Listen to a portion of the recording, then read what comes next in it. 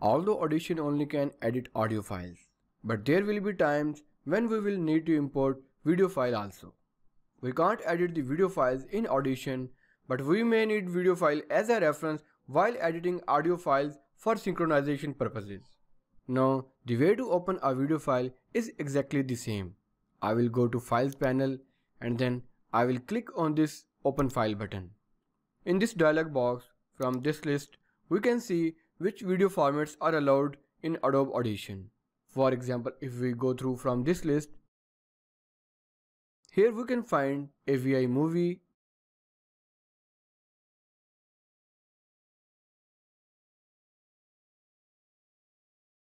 MPEG movie, QuickTime movie, even it supports RED RAW file and it also supports MP4. Let's go to our course folder and then go to exercise files, media. Here we have two video files. I would like to open this file in Audition. So I will select this video file and then I will click on open.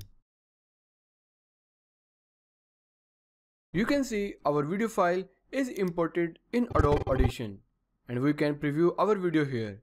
This is our video file in files panel and if we expand our file we can see this is our video and this is our audio. We can further expand our audio and we can see this is left channel and this is right channel.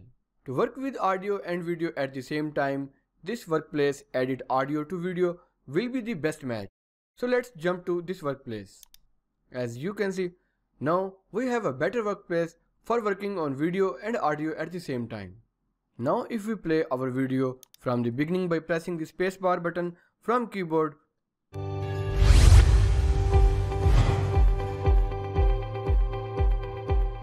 Hi there, welcome to this exciting match. We can see that it's already really well synced.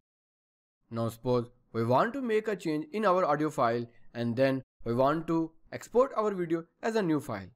Let's say I want my new video file with decreased audio volume. So I will come in waveform editor and then I will reduce volume of my audio from here. These waveform shows that volume of my audio is decreased but it's better for us to decrease the volume of this video from multi-track session. So let's undo this change and then let's go to files panel. I will select this video file and click on insert into multi-track button. Then select new multi-track session. Now let's select the folder location from here.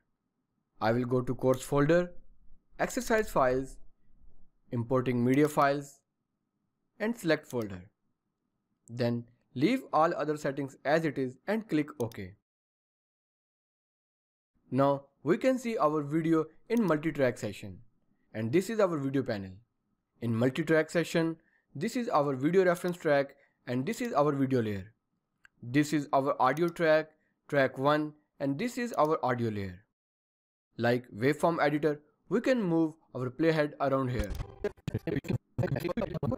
Now let's do the same thing what we wanted to do in waveform editor. We want to decrease the audio of our video and then save it as a new file. So for that I will come here and select that yellow line and drag it downward to reduce its volume to minus 10 dB. Now if we hear our video we can notice that the volume of our audio is decreased. So as we can hear that the audio volume of our video is decreased. Now I would like to save my video as a new file. For that I will go to file, export and then I will click on export with Adobe Media Encoder which will create a new video file. So that is how we import video in Adobe Audition. We can edit audio in waveform editor also but if you want to save your video as a new file later then we will have to work in multi-track session.